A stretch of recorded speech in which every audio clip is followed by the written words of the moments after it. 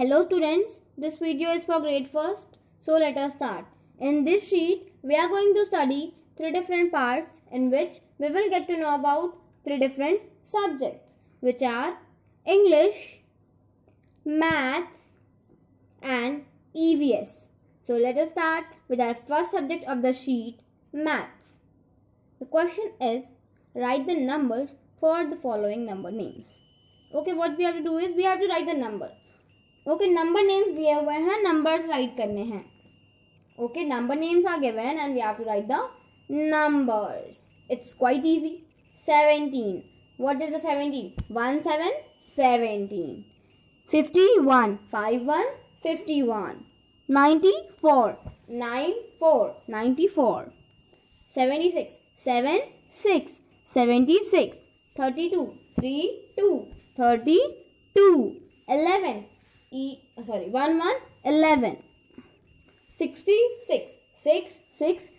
six seventy five seven five seventy five eighty two eight two eighty two fifty three five three fifty three so so, ये हमने कैसे पहचाना? हमने हमें कैसे पता चला कि हमें कौन सा नंबर राइट करना था? For that we have learn the number names उसके लिए हमने क्या किया? पहले नंबर नेम्स लर्न किया। तभी तो हमें पता चला कि ये कौन से नंबर का नंबर नेम है।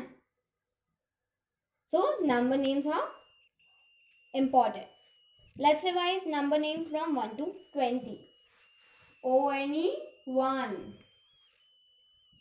T W O two T H R double E three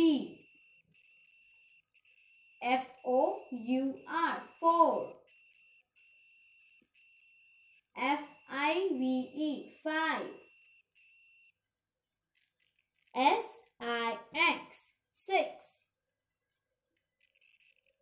S E V E N seven. E I G H T eight. N I N E nine. T E N ten. E L E V E N eleven. T W E L V E twelve. T H I R T W E N thirteen. F O U R T W E N fourteen. F I F T W E N fifty. S I X T double E N sixteen. S E V E N T double E N seventeen. E I G H T double E N eighteen. N I N E T double E N nineteen. T W E N T Y twenty. So we have read number names from 1 to 20 Let's move to the next section of the sheet. English. Choose the correct word from the bracket to complete the sentence.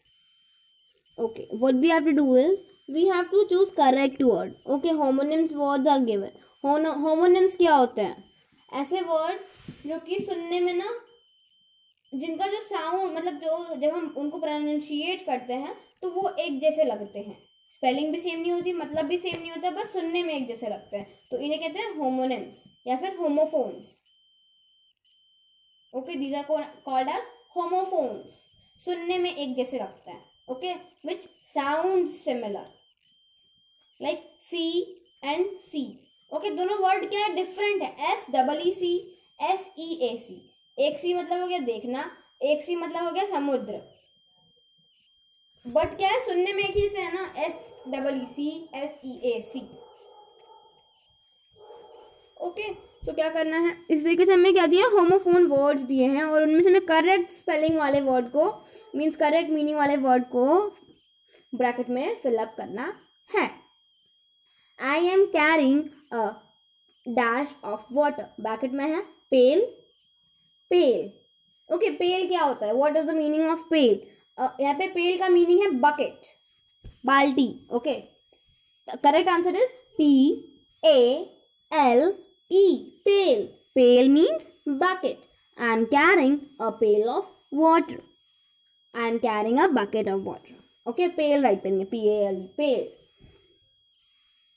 next the dash is sleeping under the tree bear and bare okay. Bear and bear. Okay so दोनों words क्या है? Different है. एक word का मतलब है भालू bear और दूसरा बेयर मतलब खाली. जिसको कहते हैं नंगा. ओके बेयर मतलब क्या?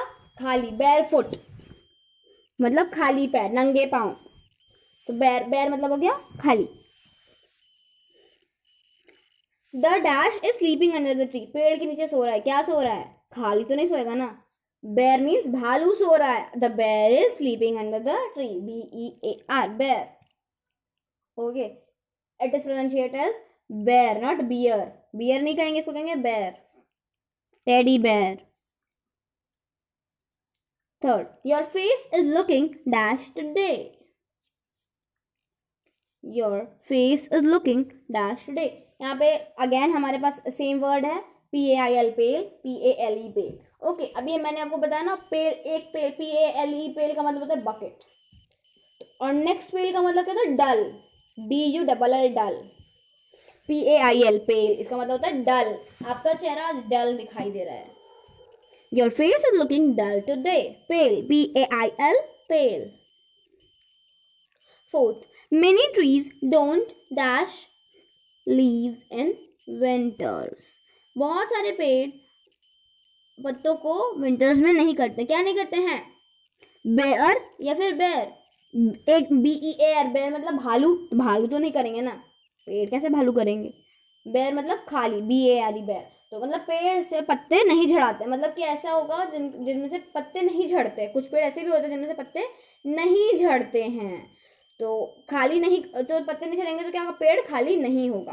तो don't bare leaves in winter bare मतलब खाली यहाँ पर। B A R E bare okay understood इसी तरीके से क्या करना है? हर वर्ड का मतलब समझ के आपको वर्ड को फिल अप करना है। आ, आने आगे जो दो वर्ड्स हैं सन और सन और दूसरा है फॉर और four okay S O N son मतलब बेटा। एस यू एन सन मतलब सूरज। For F O R for मतलब के लिए। F O U R four मतलब चार। ओके मैंने आपको मीनिंग बता दी है. According to this meaning you will full fill the correct word in the bracket okay bracket से आप करेक्ट वर्ड यहाँ पे फिल करोगे. On the basis of meaning now let's move to the last section of the sheet E V S sort and write the names of animals as per their eating habits okay as we all know there are so many variety of animals present okay जैसा हम सब जानते हैं बहुत सारे variety के animals हमारे अर्थ पे प्रेजेंट हैं। सो so, कुछ ऐसे एनिमल्स हैं जो घास फूस खाते हैं कुछ हैं जो जानवरों को मार के खाते हैं।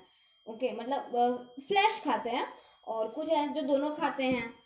तो क्या है इनकी ईटिंग हैबिट्स पे ही we have divided these animals into three groups okay on the basis of their eating habits इनके ईटिंग हैबिट्स पे हमने क्या किया? इन्हें तीन ग्रुप में डिवाइड कर दिया। वो कौन से ग्रुप्स हैं? एक herbivores carnivores and omnivores what are herbivores herbivores मतलब क्या? हर्बी देखिए हर्बी मीन्स होता है ग्रास हर्बी ओके ऐसे एनिमल जो कि ग्रास खाते हैं मतलब क्या खाते हैं? वो खाते हैं। घास फूस खाते हैं। Grass eating animals are known as herbivores तो ऐसे एनिमल जो कि घास फूस खाते हैं, फल खाते हैं, उन्हें कहते हैं हार्बीवोर्स कार्निवोर्स कार्निवोर्स मतलब ऐसे जानवर जो कि फ्लैश खाते हैं. ओके जानवरों को या फिर इंसानों को मार के खाते हैं. ओके ऐसे एनिमल्स को कहते हैं कार्निवोर्स और ओमनीवोर्स किसे कहते हैं? ऐसे एनिमल जो कि घास फूस भी खाते हैं फ्लैश भी खाते हैं. मतलब दोनों खाते हैं. तो वो क्या होते हैं? ओमनीवोर्स तो जो ह्यूमन बींग्स होते हैं, वो कौन सी कैटेगरी में आते हैं? ओमनीवोर्स कैटेगरी में। क्योंकि कुछ ह्यूमन बींग्स क्या होते हैं? सिर्फ़ घास फूस खाते हैं मतलब लाइक जो वेजिटेरियंस होते हैं, वो तो नॉनवेज नहीं खाते। तो नॉनवेज नहीं खाएँगे तो क्या? वो एक तरीके से हार्बीवोर्स की कैटेगरी में आ गए। ओके कार्निवोर्स की कैटेगरी में कब आएँगे? जब वो सिर्फ़ फ्लैश खाएँगे घास फूस नहीं खाएँगे। तो ये तो पॉसिबल ही नहीं है। ओके ये तो पॉसिबल ही नहीं है। कि बिल्कुल ही घास फूस ना खाएँ। ये तो सिर्फ़ एनिमल्स में ही पॉसिबल हो सकता है ना, कि वो घास फूस नहीं खा रहे, फ्लैश खा रहे हैं। ओके तो हमारे पास इतनी ह्यूमन बींग्स के पास इतनी ही सारी वैरायटी ऑफ़ फ़ूड आइटम्स हैं कि ऐसा तो पॉसिबल ही नहीं है कि वो सिर्फ़ और सिर्फ़ फ्लैश खाएँ और जो घास फूस है मतलब लाइक जो वेजिटेबल्स हैं फ्रूट्स हैं, वो ना खाएँ।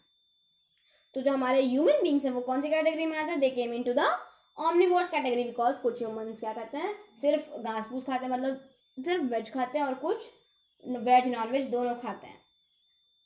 अभी क्या करना है? What we have to do is हमारे पास कुछ एनिमल्स के नेम है बॉक्स में। और क्या करना है इन एनिमल्स को? इनकी ईटिंग हैबिट के बेसिस पे हमें की ग्रुप में डालना है कि ये कौन से ग्रुप के हैं।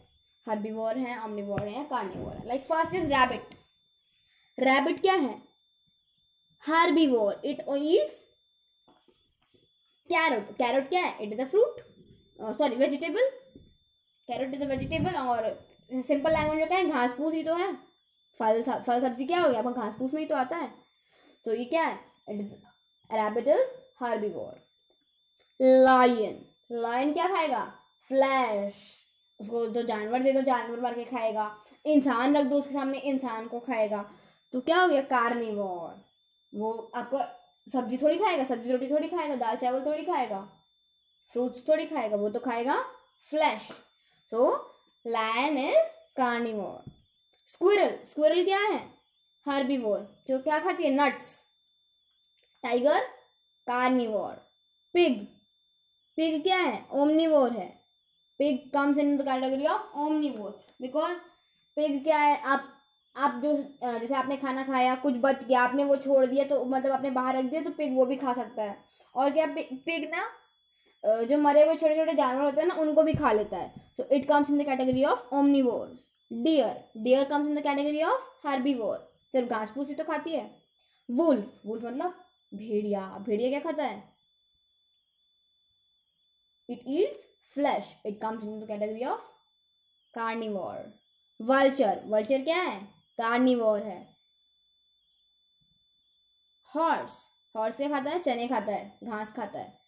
तो क्या हुआ ये? हर्बीवोर डंकी डंकी मतलब गधा। ये क्या खाता है? घास फूस खाता है। तो हर्बीवोर ओके तो on the basis of their eating habits animals की ईटिंग हैबिट की बेसिस पे क्या करना है इन्हें? हर्बीवोर ऑमनीवोर और कार्निवोर वाली कैटेगरी में पुट करना है। I hope you all have understood this sheet very well and if you are having any kind of doubt related to any question, any topic or any subject, you can ask me. Thank you.